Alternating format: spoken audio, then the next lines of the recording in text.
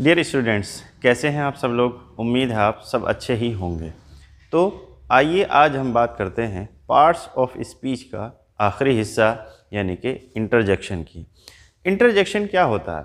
Interjection वो word होता है जो हम या तो बहुत खुशी में, या बहुत दुख में, या आश्चर्य में, या कोई ऐसा भाव प्रकट करना चाहते हैं जो एकदम दिल से आवाज़ निकलती हो, जो दिल से आवाज़ निकलती हो, या अचानक से आवाज़ निकलती हो वो वर्ड्स जो है अंग्रेज़ी में इंटरजेक्शन कहलाता है।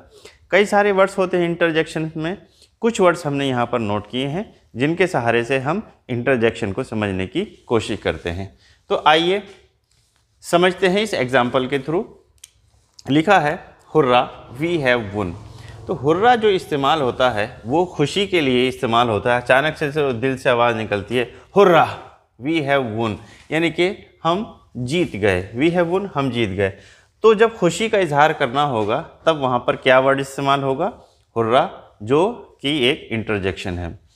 दूसरा अगर देखें तो alas I have lost my all alas का मतलब होता है, जब कोई दुख की बात कहनी होगी, कि अफसोस या हाय, मैंने सब कुछ खो दिया तो I have lost my all alas I have lost my all तो दुख की जब बात करनी होगी दुख जो अंदर से प्रकट होगा, ज़ाहिर होगा तो वहाँ पर एलास का यूज़ होगा। तीसरे एग्ज़ाम्पल में अगर देखें, bravo you have done this शाबाश यू हैव डन दिस आपने ये काम कर दिखाया, या आपने ये कर दिया। तो ब्रेवो का इस्तेमाल जो होगा, वो किसी की बहादुरी के लिए होगा और ये दिल से आवाज़ निकलेगी, जिसको हम हिंदी में शाबाश कहते हैं।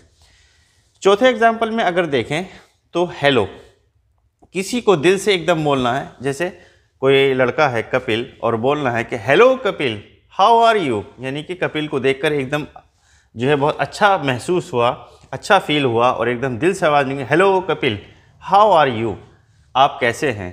तो ये हेलो कपिल या हेलो जो इस्तेमाल हुआ है, वो एज ए इंटरजेक्शन और एक दिल से उसको देख आश्चर्य हुआ ताजुब हुआ और या खुशी हुई, इस तरीके से उसको हेलो बोला गया।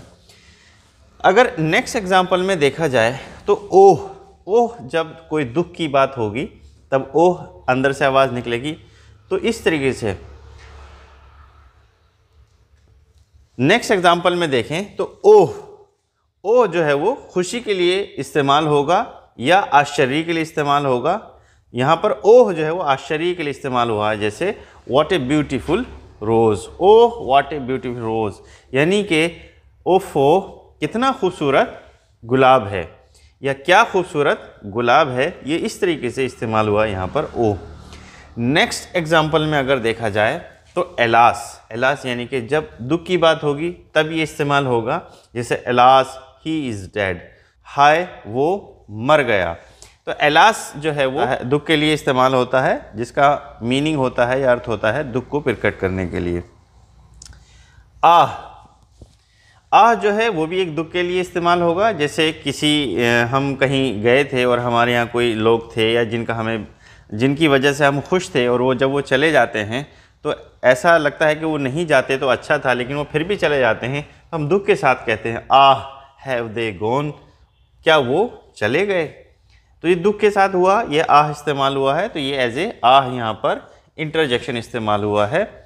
तो ये कुछ वर्ड्स जो हमने यहाँ पर एग्ज़ाम्पल में इस्तेमाल किए, जैसे hurrah, alas bravo hello, oh, alas, ah.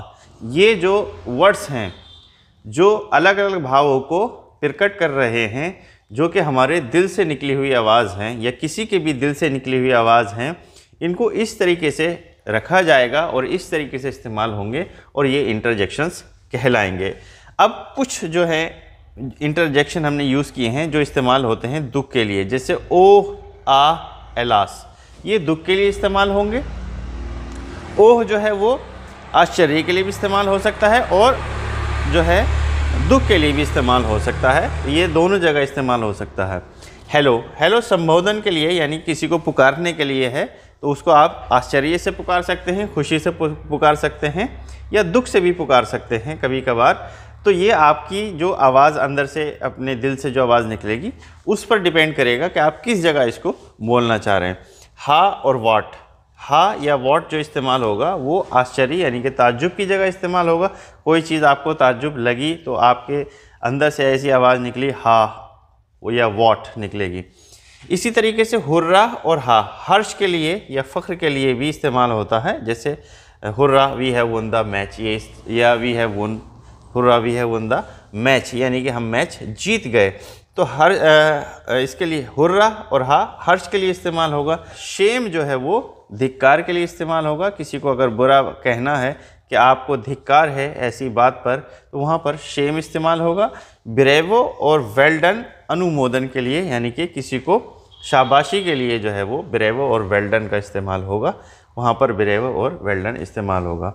तो ये हमने पढ़ा इंटरजेक्शन। तो इंटरजेक्शन जो होता है, वो किसी के भी मन से या हृदय से कभी आश्चर्य, कभी दुख, कभी कोई भाव प्रकट करना होगा तो जो वर्ड्स हमारे अचानक से निकलेंगे वो वर्ड्स इंटरजेक्शंस कहलाते हैं और इनका थोड़ा सा यूज़ हमने सीखा। आने वाले टाइम में हम इनका और बेहतरी से और थोड़ा गहराई से इनका इस्तेमाल सीखेंगे। तो ये हमने आज तक पार्ट्स ऑफ़ स्पीच के आठों हिस्से पढ़े जिनको हमने यहाँ पर थोड़ा थोड़ा समझने की कोशिश की है।